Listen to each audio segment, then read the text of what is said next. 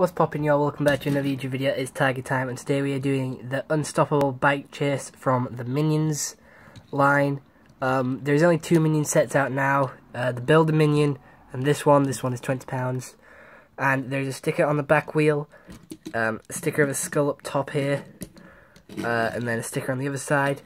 On the other side there is a chain which does connect to the little rocket car build, which connects to a blue Technic pin there.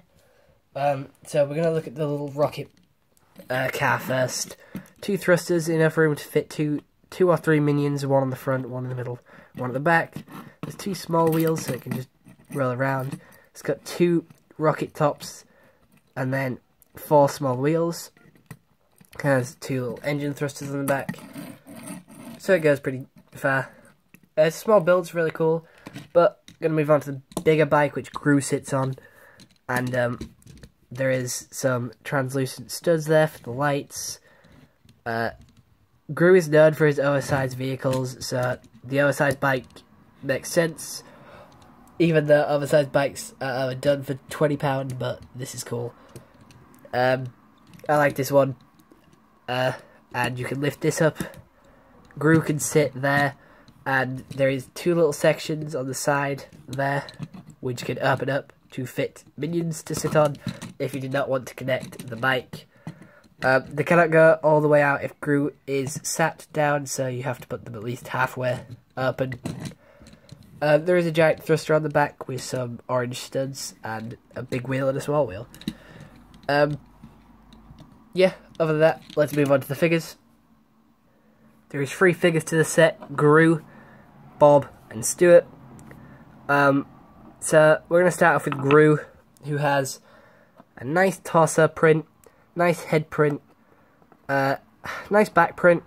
He does use uh, big legs, although I would prefer him to use small legs or mid legs because he isn't as tall as a regular person in the film, as you can tell by the trailers.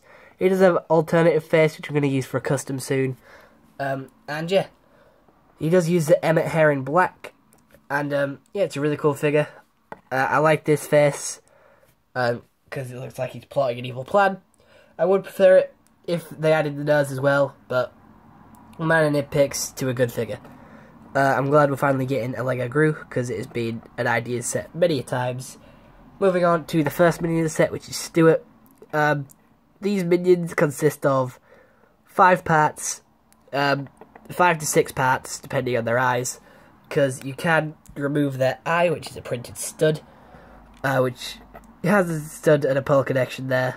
Uh, you can also remove their heads, like so, and that is just connected by 2 by 2 round tile. Uh, and you can also remove the arms, which are connected by pin connection. Uh, so you can add arms onto R2-D2. They have a nice printed torso and a nice printed smile and hair on some minions, whereas Bob doesn't have one. Um, the printed eyes in this set, they give you um, a fully opened one for Stuart, but you can swap it out for the half opened one for Bob to make him look happy or angry.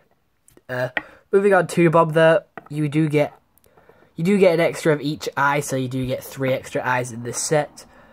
Uh, and Bob is smaller than Stuart because their torsos and arms are the same length. Um, it's just the top part where the head is is smaller. And um, yeah, he does have a little smile printed on there, and um, yeah, is dual molded, and um, the torso is triple molded with the blue, yellow, and black. But other than that, I hope you enjoyed this YouTube video. I'll see you all in the next one. Uh, I hope you all have a nice day and goodbye. Stay home and stay safe.